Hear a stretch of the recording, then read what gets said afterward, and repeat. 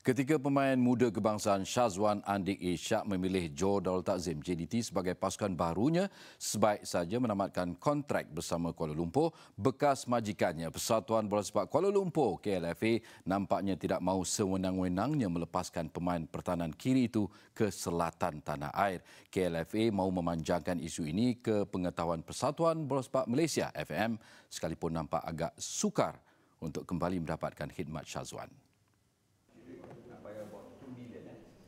Menurut Setiausaha Agung KLFA, Nokman Mustafa, pihaknya dan Syazwan sebelum ini sudah mencapai persetujuan untuk meneruskan khidmat pemain pertahanan kiri kebangsaan itu selama satu musim.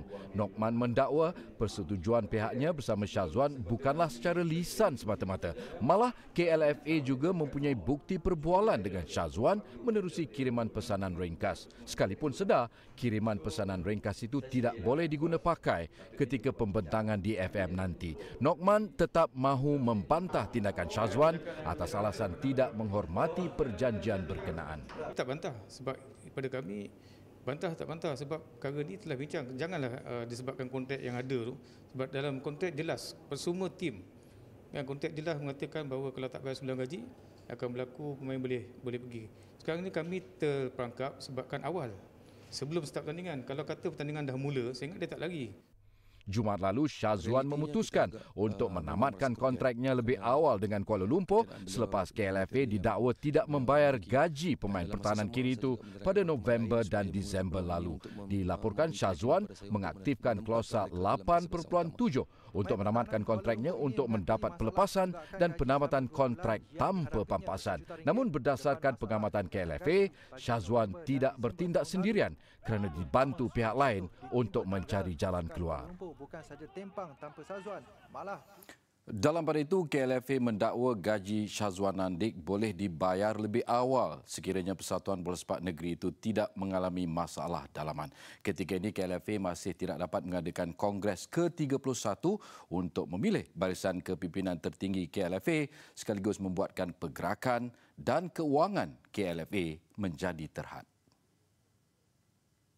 Bila kami ingin membuat satu uh, pembayaran kepada pemain mengenai gaji mereka, ianya tertangguh disebabkan perkara ini. Perkara inilah menyebabkan Presiden terpaksa bertahan, terpaksa tidak boleh mengeluarkan kewangan tanpa sebab.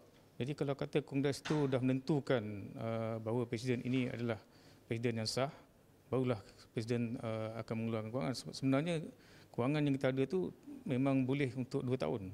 Siang tadi KLFA yang diwakili Setiausaha Agung Nokman Mustafa berusaha meyakinkan Pesuruhjaya Sukan PJS dan beberapa ahli gabungan yang tidak berpuas hati dengan proses pencalonan bagi Kongres ke-31 pada November lalu.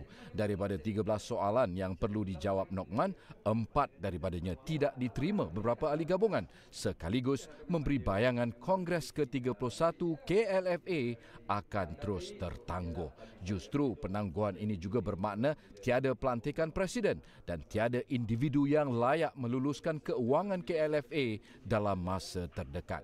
Tak tala Liga Bola Sepak Malaysia MFL sudah berhasrat memotong grant tahunan KLFA susulan tunggakan gaji. Saya minta FPL, uh, FPL ni kalau boleh bincang lah, uh, bincang kita, jangan terus uh, membuat tindakan. Tanya dulu apa yang berlaku. Saya boleh tunjuk bukti-bukti yang kita ada kewangan kukuh tak masalah pun. Kita ada perjanjian-perjanjian yang yang menunjukkan bahawa KLFA ini punya kewangan kukuh. Jadi tak ada masalah pun. Untuk rekod, pasukan baru Liga Perdana, Perlis, turut dikenakan pemotongan geran tahunan dari MFL. MFL menyekat pembayaran geran tahunan kepada skuad Singa Utara selagi mereka belum menjelaskan tunggakan gaji dalam tempoh 60 hari daripada tarikh yang sudah ditetapkan.